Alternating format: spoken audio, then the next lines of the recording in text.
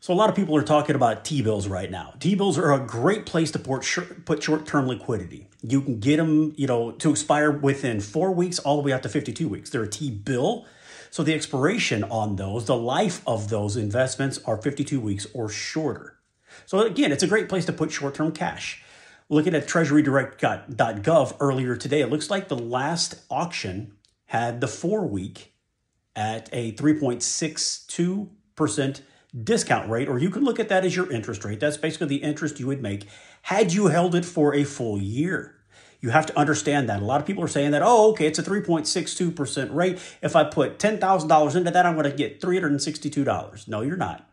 If you buy a four week, you're going to get $362 divided by 12, right? So $362 divided by 12, you are going to get $30.16.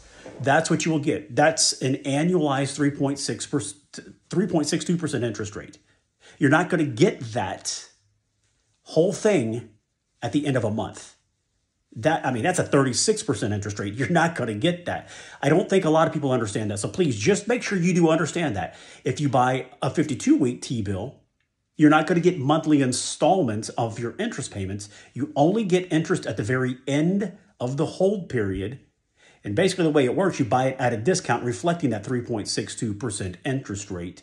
When the thing expires, when you reach maturity, you get all of the face value of that thing back. So you're going to buy it at a discount to reflect the 3.62% interest rate.